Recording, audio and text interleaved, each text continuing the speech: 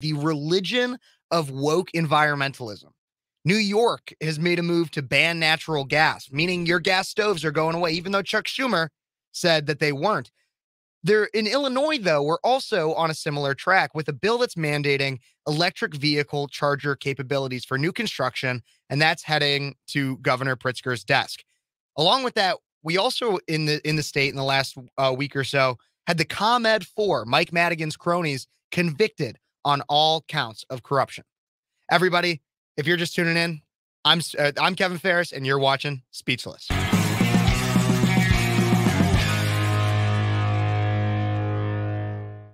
So I'm obviously not an expert on everything Illinois government, and so I oftentimes want to bring on people that are. As I can possibly get. And so that's why today, talk about the things that I just started off with. I have State Representative Brad Halbrook, uh, who is from, I believe you're from the 107th district, correct? That's right, Kevin. Thanks for having me on. 107th district. Can you hear me okay? I can hear you just fine. I can Great. hear you just fine. Perfect. so that's you got there. yeah. So uh, I live in Shelbyville. Just give your mm-hmm. listeners a little bit of a view about the district. It's uh, all of Shelby County, most of Moultrie County, which is Sullivan, goes south into Effingham County. We pick up a little bit of Cumberland County to the east, uh, a whole lot of Christian County, which is Taylorville, and then a little corner of Montgomery, and then the southern part of Macon, just south of Decatur. So it's a nice compact district as districts go in the state of Illinois. Awesome, awesome. Yep. So right, right in the heartland of Illinois, really. And so right. I there's a lot I want to talk about with you. Obviously, the two okay. biggest stories. Um, the first one I want to start with is the bill mandating the EV charger capabilities for new construction is now headed to Governor Pritzker's office. Uh, via the center square, Illinois may soon force new ho- home buyers to include electric vehicle charging infrastructure. Senate Bill 40 would require buildings to have EV capable conduits and would apply to new and existing homes, apartments, and condo buildings. It would also require new construction of homes and multi unit buildings to include basic infrastructure for electric vehicle charging uh, in a certain number of parking spaces. Uh, according to the bill's sponsor, Rep. Robyn Gabel, who's the, a Democrat from Evanston, said charging your car is a lot less expensive than buying gas, and we should make this as easy as possible for electric car owners. So, and there's a lot of other things that are being said. Uh, Rep. Travis Weaver, who is uh, from Pekin, said if less than 1% of cars on the road are EVs and less than 0.1% of cars in my district are EVs, I just don't see why we're having people downstate pay for this infrastructure. Um, so obviously there's two sides of this debate, and and that's kind of where I lie on this is why is it uh, even while while it might be cheaper to charge your car, why is it that the state is making it even more cheaper by by basically subsidizing these charging stations onto people that do drive gas cars. Right.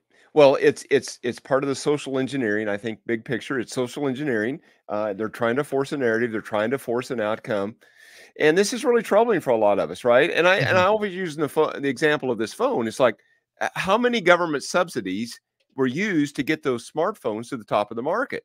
Well, absolutely zero.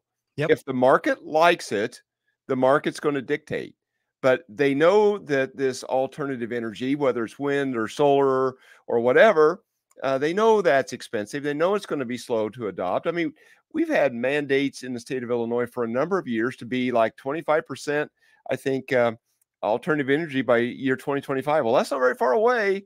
And mm-hmm. we're in the in the low teens at best, maybe 12, 13, 14%. Yeah, so, well, and even even building on on that a bit more with when it comes to the statistics of all this, um, about 40% of Americans say that they'll consider uh, electric when they buy their next car. Uh, but when uh, the poll that that that shows also shows that only about 8% of adults say they or someone in their household owns or leases an EV. So electric vehicles, it seems interesting. While I understand the need potentially for charging stations in the future as we do move towards having more electric vehicles on the road, um, it's just not financially uh, reasonable right now to expect that many people to have an electric vehicle and then and then also force people uh, businesses even potential homes to have uh, these electric vehicle capabilities when most people aren't even using them Right. I, I think again, it's uh, the government is trying to pick winners and losers. They're trying to force mandates on um, individuals and business. Uh, that's just too costly, and they need to let the market decide. But that's not what they want.